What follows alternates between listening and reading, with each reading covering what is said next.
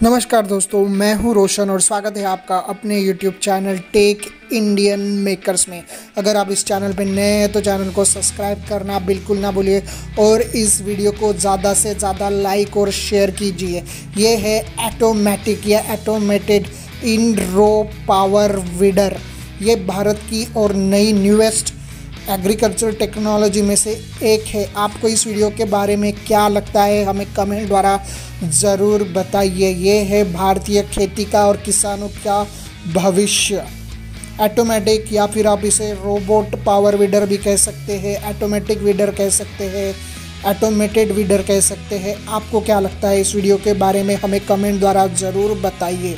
Channel को subscribe करना बिल्कुल ना भूलिए। हम इसी तरह के नए नए वीडियो और एग्रीकल्चर एग्रीकल्चर से जुड़े हुए वीडियो आपके लिए लाते हैं।